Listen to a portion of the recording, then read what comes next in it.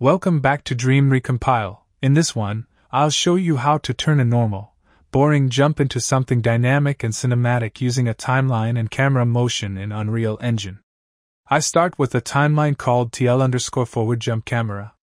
This timeline drives two values cam Z for vertical camera movement, and cam distance for a slight camera pullback. I use cam distance, add it to my default arm length, and set that on the camera boom. This creates a subtle zoom out that makes the jump feel faster and more powerful. Next, I take my default socket offset, break it into X, Y, and Z, and only modify the Z value using the timeline.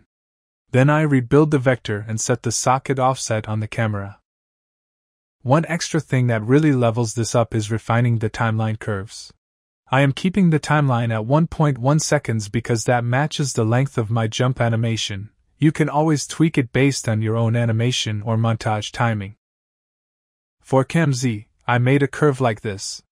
This lets the camera hang for a split second at the top of the jump, instead of instantly coming down. That tiny pause sells weight and airtime. For cam distance, the curves smoothen the pull back and return. Instead of snapping back to default, the camera eases in and eases out, which feels much more cinematic. That's all for today.